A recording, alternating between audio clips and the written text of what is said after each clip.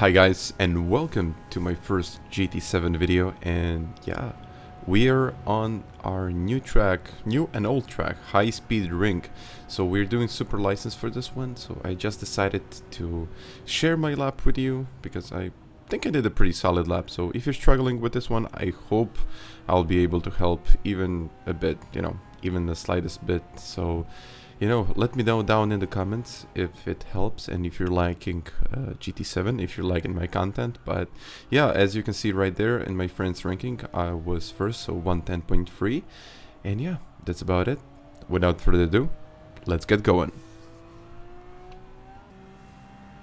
Okay, let's get going with the track guide, or time attack lap, whatever you want to call it. I got the Aventador, pretty sketchy car. Uh, it quite, uh, it's quite easy to get to oversteer from it, and I'm moving the car up here, so very high up, up in seventh gear. And then when I see this point, so it's actually the transition from the marks on the left. So this is where I start turning in, but I don't lift yet. So as I get closer to the kind of I would I would call it a curb right there, but it's actually not the the actual curb. So when I'm get close to it, I lift a little bit and then I put the power down. So once again, 200 meter mark, but not exactly at the 200 meter mark. Just when you pass it, this is where I brake.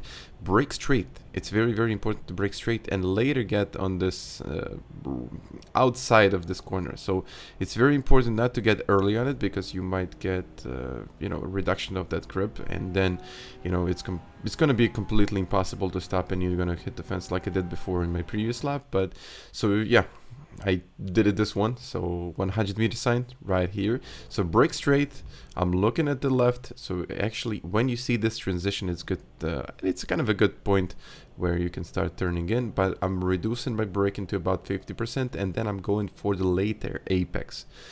I really don't know I haven't really tried it out so it might be even better just to go to early apex but I mean even here you will see that I'm always getting to the late apex and aiming towards those markers.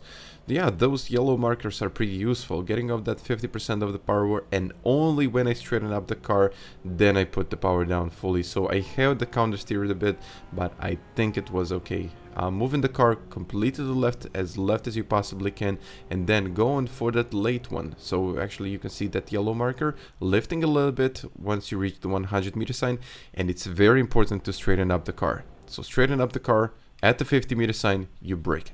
If the car is going sideways and you brake you're gonna lose control. So it's, so it's very very important that the car is straightened up so you can get full control of it.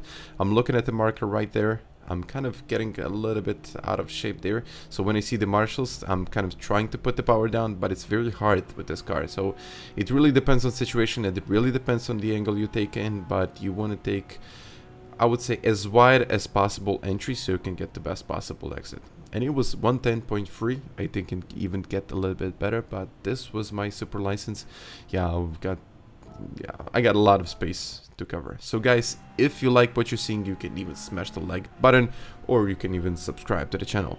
Thank you very much for watching this and I'll catch you guys next time. Bye.